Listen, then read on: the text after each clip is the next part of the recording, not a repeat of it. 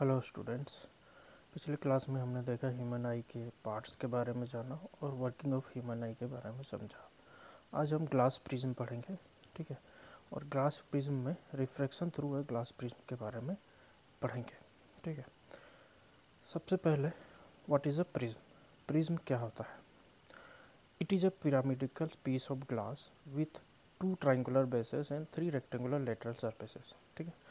Pyramidical piece of glass है ठीक है with two triangular bases and three rectangular lateral surfaces ठीक है? Triangular base and rectangular lateral surfaces क्या होता है? थ्री रेक्टेंगुलर लेटरल सरफेसेस ठीक है? अब पढ़ेंगे angle of prism angle of prism क्या होता है? The angle between two adjoining lateral surfaces refraction through a glass prism ठीक है तो क्या होता है कि एंगल ऑफ़ प्रिज्म और टू एडजोनिंग लेटरल सरफेस के बीच दो लेटरल सरफेस जहाँ जुड़े हुए हैं, वो होता है एंगल ऑफ़ प्रिज्म ठीक है? तो इस फिगर में जूम करके हम देखेंगे कि एंगल ऑफ़ प्रिज्म क्या है। ये जो ए है, वो है क्या? एंगल ऑफ़ प्रिज्म जिसमें दो लेटरल सरफेस जुड़ा हुआ है। ये रे इंसिडेंट रे हो गया पी क्या है? इंसिडेंट रे फिर रिफ्रेक्टेड रे हो गया और उसके बाद ये जो है इमरजेंट रे हो गया, ठीक है? देन क्या बोलेंगे एंगल ऑफ़ इंसिडेंस ये जो एंगल है प्रिज्म से पहले जो लग रहा है वो इंसिडेंट और ये इमरजेंस है एंगल ऑफ़ इमरजेंस ठीक है? है ना? और ये जो है, वो एंगल ऑफ़ रिफ्रैक्शन है, ठीक है? और ये क्या है? एक ग्लास प्रिज्म है जो जिसका लेटरल सरफेस जुड़ा हुआ है। इसीलिए जो एंगल ए है, वो क्या है? एंगल ऑफ़ प्रिज्म है, ठीक है? ये जो है एंगल ऑफ़ प्रिज्म है, ठीक है? है ना? फिर से देखते हैं।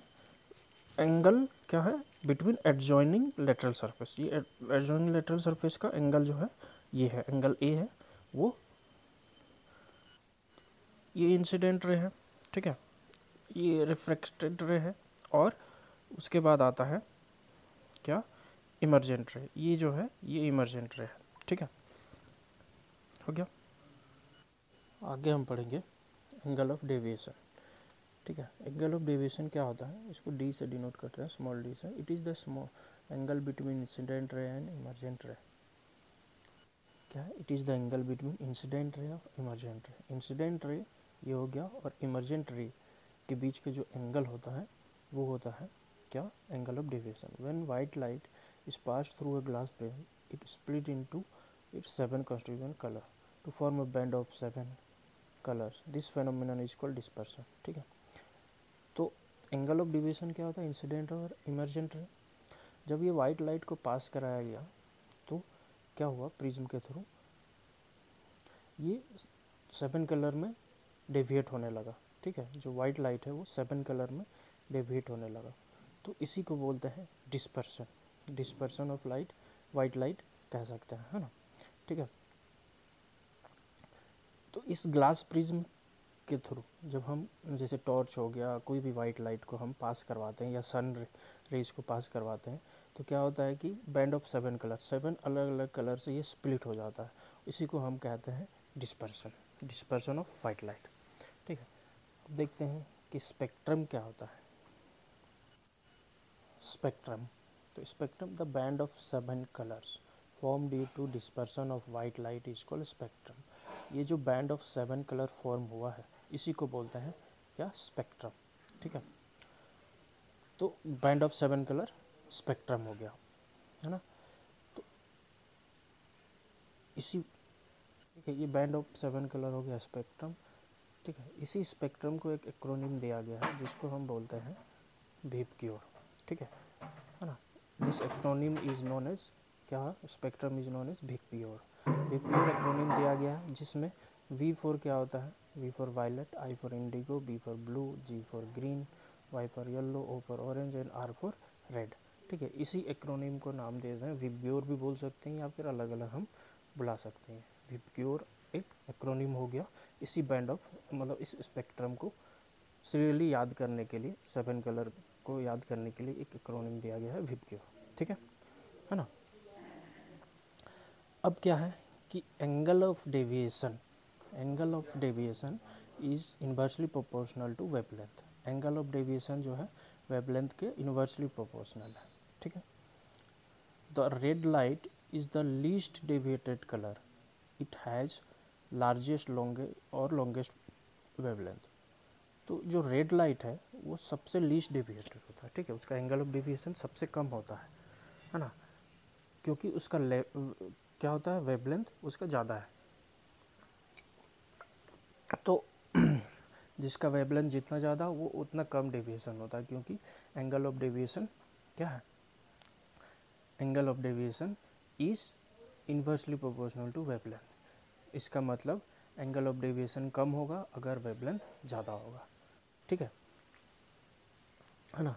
तो एंगल ऑफ़ डेविएशन अगर ज़्यादा हो गया मतलब ज़्यादा कब होगा? जब वेवलेंथ कम होगा और या फिर वेवलेंथ ज़्यादा होगा तो एंगल ऑफ़ डेविएशन लीस्ट होगा। इसीलिए वायलेट इज़ द क्या हो गया? Violet is the most deviated colour violet is the most deviated colour it is smallest wavelength इसका स्मॉलेस्ट वेवलेंथ है। इस वजह से ये सबसे लीस्ट डेविएटेड है। सॉरी सबसे मोस्ट डेविएटेड है। ठीक है? क्योंकि वेवलेंथ इसका सबसे कम है।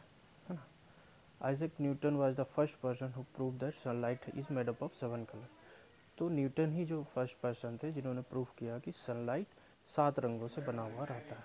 ठीक है? उन्होंने क्या किया कि he pass sunlight through a glass prism to form a band of seven colour sunlight को ग्लास प्रिज्म से पास करवाया, जिससे क्या फॉर्म हुआ? Band of seven colour form हुआ, जिसे हम डिस्पर्सन ऑफ़ लाइट कहते हैं या बैंड ऑफ़ सेवन कलर को स्पेक्ट्रम भी कहते हैं। ठीक है? जो वाइट लाइट डिस्पर्स हो गया। ठीक है? उसके बाद उन्होंने क्या किया कि he try to split the colours further by putting another prism ahead of the prism forming spectrum but he fail to obtain more colours उन्होंने ट्राई किया कि वो और कलर स्प्लिट कर सके, ठीक है? Further putting in to another prism ठीक है? बट क्या हुआ कि he fail to obtain more colour और उनके पास ज़्यादा कलर ऑप्टेन करना चाहते थे, वो फेल हो गए, ठीक है? वो नहीं कर पाए। तो हुआ क्या था कि he form a spectrum from sunlight and place an identical inverted prism in front of prism forming the spectrum all the seven colour combine with the by the inverted prism and emerges white light ठीक है, उन्होंने क्या किया? एक prism लिया। उसी prism में white light pass करा के क्या हुआ? Seven band seven colour of band बना, जिसे हम स्पेक्ट्रम कहते हैं। फिर उसी प्रिज्म को इन्वर्ट करके मीन्स उल्टा करके एक और प्रिज्म उसके सामने रख दिया, ठीक है? ये प्रिज्म उसके सामने रख के उल्टा रख दिया तो क्या हुआ? जो सेवन कलर्स से वो कंबाइंड हो गए। Seven colour combined by inverted prism and form white light emerges white light again ठीक है? है ना? तो इसी चीज़ को हम लोग दोबारा क्या पढ़ते हैं? इसी चीज़ को बोलते हैं recombination of spectrum of the white light ठीक है? इसको बोलते हैं रिकम्बिनेशन ऑफ़ स्पेक्ट्रम स्पेक्ट्रम को रिकम्बाइन कर देने रिकम्बाइन होके क्या निकला? वाइट लाइट निकला, ठीक है? Spectrum of recombination of white light ठीक है? जो सेवन कलर से रिकम्बाइन होकर वाइट लाइट फॉर्म करते हैं। नेक्स्ट हम लोग देखेंगे टोटल इंटरनल रिफ्लेक्शन ठीक है? तो टोटल इंटरनल रिफ्लेक्शन क्या होता है? कि व्हेन वाइट लाइट इंटर्स जब white light enters obliquely from a denser medium to a rare medium and the angle of incidence exceeds critical angle the light reflects in the denser medium this is called total internal reflection आइए एक image से हम इसको समझते हैं। ठीक है? क्या होता है? कि ये जो पहला इमेज है, वो डेंसर मीडियम से रेयर मीडियम की ओर जा रहा है लाइट ठीक है? डेंसर मीडियम से रेयर मीडियम की ओर जा रहा है। और ये क्रिटिकल एंगल है 90 डिग्री ठीक है? जब क्रिटिकल एंगल से ज़्यादा हो जाता है, ये 90 डिग्री है क्रिटिकल एंगल है। जब क्रिटिकल एंगल से ज़्यादा हो जाता है एंगल ऑफ़ रिफ्लेक्शन तो क्या होता है, वो वापस डेंसर मीडियम में रिफ्लेक्ट हो जाता है। This is known as total internal reflection ये जो इमेज है, वो क्या है? टोटल इंटरनल रिफ्लेक्शन का इमेज है, ठीक है? तो क्रिटिकल एंगल क्या होता है? The angle of incidence for which angle of reflection is 90 degree is called critical angle ठीक है? Angle of reflection is 90 degree ये जो क्रिटिकल एंगल है, ठीक है? ये 90 डिग्री से ज़्यादा हो जाएगा, ठीक है। The critical angle is the angle of incident above which total internal reflection occurs ठीक है? टोटल इंटरनल रिफ्लेक्शन ओकर्स होता है, वो होता है क्रिटिकल एंगल ठीक है? उसके ऊपर क्या होता है? वो रिफ्लेक्ट बैक हो जाता है to the denser medium to the same medium ये जो डायग्राम है, ये रिफ्लेक्ट बैक हो गया है टू द सेम मीडियम ठीक है? तो इसी को बोलते हैं टोटल इंटरनल रिफ्लेक्शन ओके तो टोटल इंटरनल रिफ्लेक्शन के लिए क्या क्या कंडीशन चाहिए?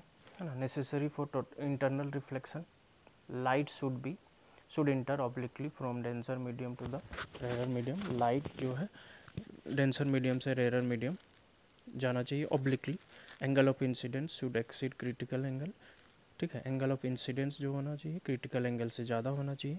ठीक है, फिर ये जो डायग्राम होता है, क्या होता है कि यहाँ एंगल ऑफ़ इंसिडेंस है, फिर वापस रिफ्लेक्शन हो जाता है। ठीक है तो तो क्रिटिकल एंगल क्या होता है?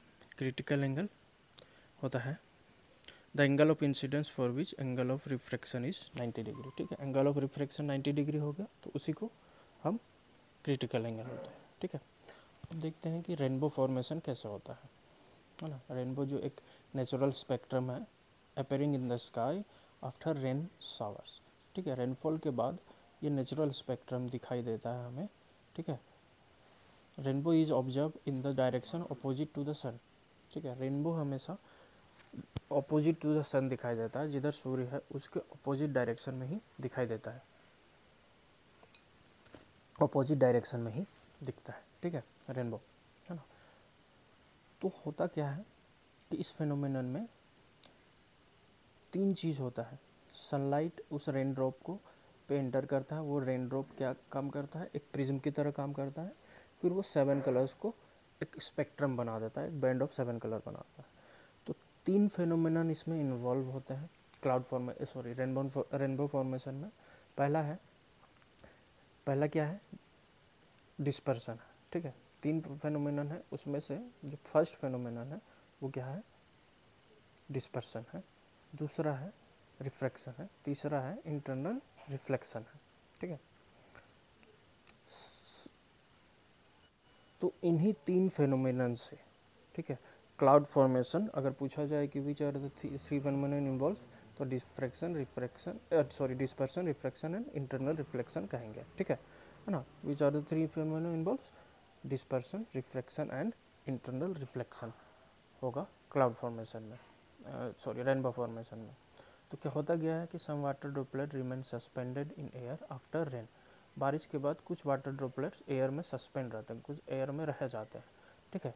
This droplet behave as glass prism और यही ड्रॉपलेट्स ग्लास प्रिज्म की तरह बिहेव करते हैं ग्लास प्रिज्म की तरह काम करते हैं, ठीक है? When light enters the rain drop it refracts and disperses जब लाइट रेन ड्रॉप पे इंटर करता है, ये रिफ्रैक्शन होता है और डिस्पर्सेस हो जाता है, सात रंगों में डिस्पर्स हो जाता है, ठीक है?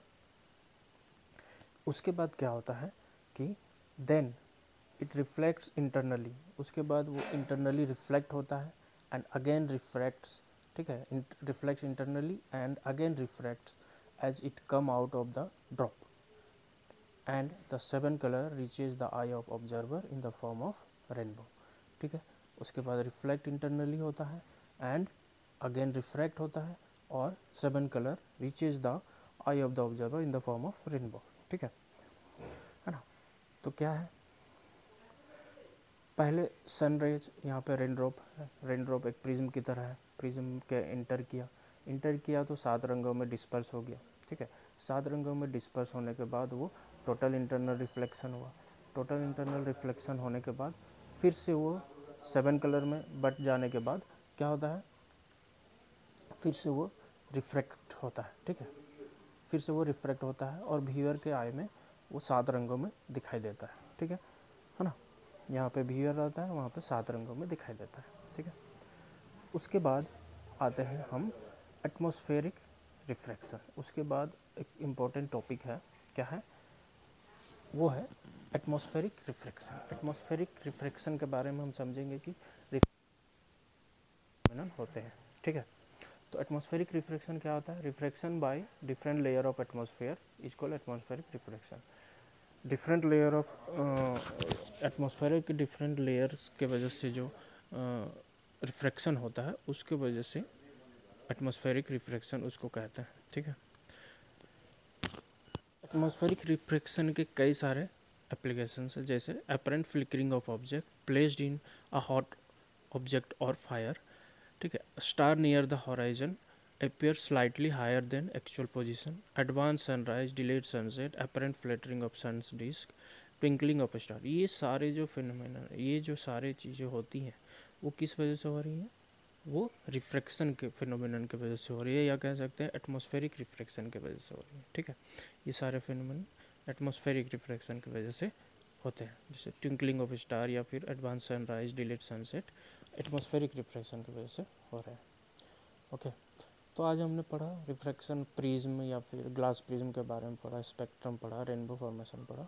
नेक्स्ट क्लासेस में हम क्वेश्चन आंसर करेंगे और उसके थ्रू जितने भी डाउट्स हैं उनको क्लियर करेंगे। ठीक है नेक्स्ट क्लास में मिलते हैं और कुछ शॉर्ट क्वेश्चन लॉन्ग क्वेश्चन पढ़ते हैं।